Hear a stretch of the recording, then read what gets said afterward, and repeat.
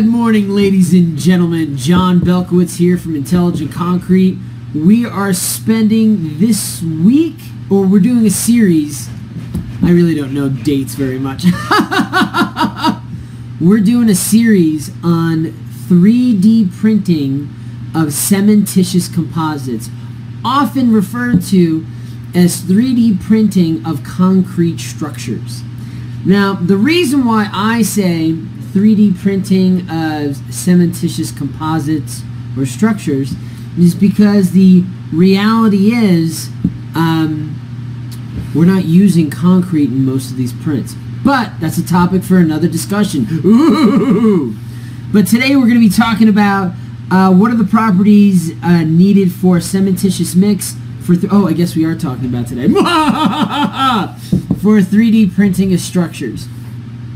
And it's really, really basic, but it can be difficult to create the consistent mix. And I think that's where, you know, the industry is really grasping right now, you know, coming up with the software, the hardware to push that fluid material out into a certain shape and, you know, go into an XYZ plane.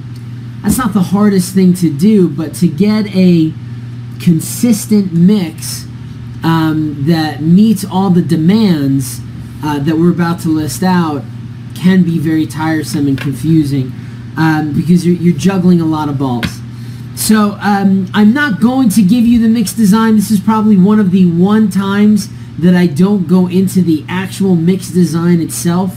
What I wanted to focus on is the holistic, um, you know, what are things to keep in mind uh, when, uh, you know, going after this concrete or cementitious composite or as I'm trying to call it in the um, ACI committee, a cementitious ink. And if you think it's a, a printer and a printer uses inks, ink to create two-dimensional images, here we're using a cementitious ink to create a three-dimensional image. Let me know if you like that or you hate that. I, am kind of in love with it.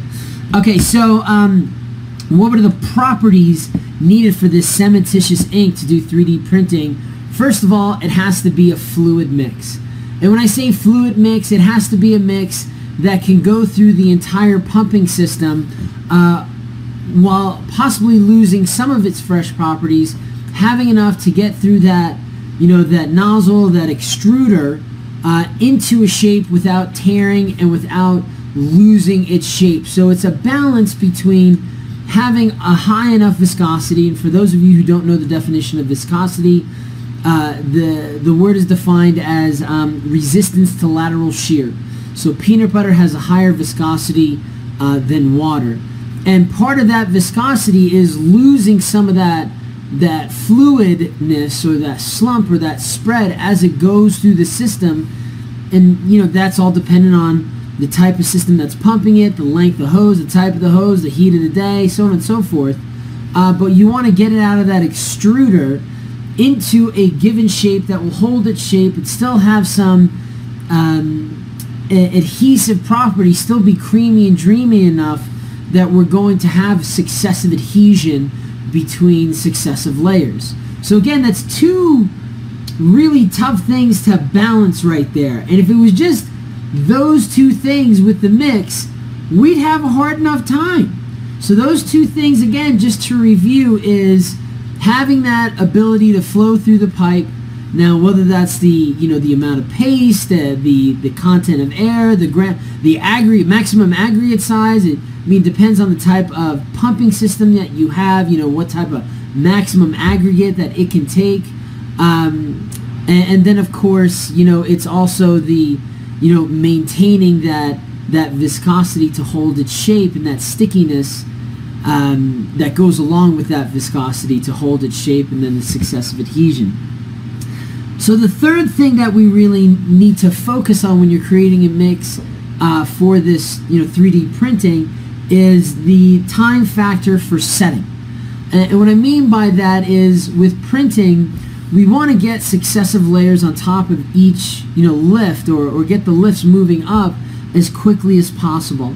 Um, we want to focus on you know, building those lifts, but but our our uh, you know the thing that we have to be cognizant of is that if the previous lift is not strong enough to hold successive lifts, it's going to end up collapsing on itself.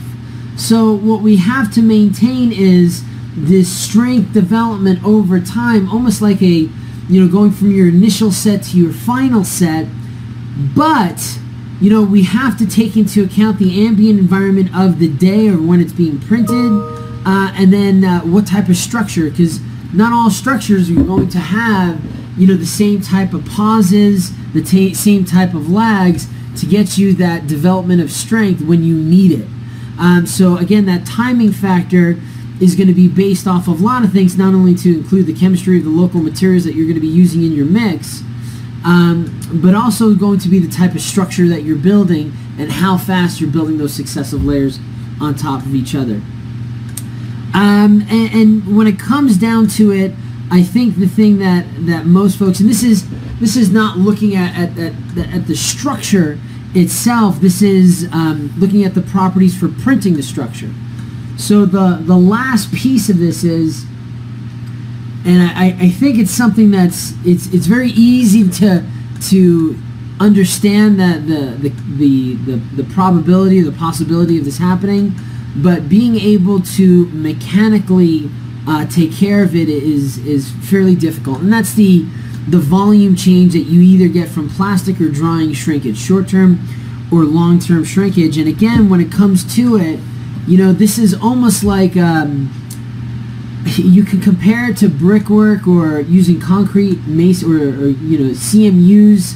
Um, you know, there's so much restraint going on in between these different lifts, and then the the restraint that's being caused by you know the the rigid connection that develops over time and then the volume change you know creates these residual stresses that can lead to you know as i said if it's a very hot uh, environment if there's a lot of uh, solar radiation um, you can get some plastic shrinkage cracking from evaporation that rapid volume change but also over time too you can start getting cracks that migrate through successive layers so that, that's the final property of the mix that we should really be cognizant of. And there's a lot more properties that we can dive into. Even just talking about this, you can break it down further.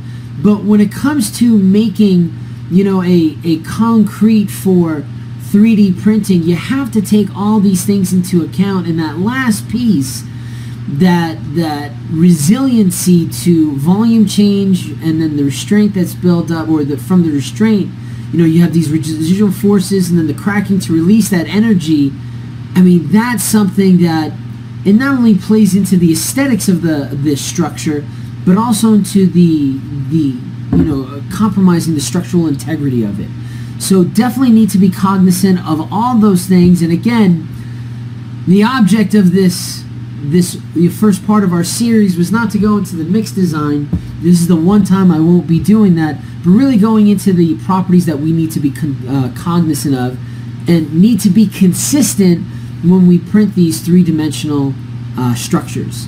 So let us know if you have any questions. We're going to be diving deep into it this week, and we're pretty excited. Uh, as you can see, we've got some great props too to use in our discussion. So uh, excited to talk to y'all about this. Have a great day. Don't forget to like and subscribe. Go Concrete! Beard Asphalt!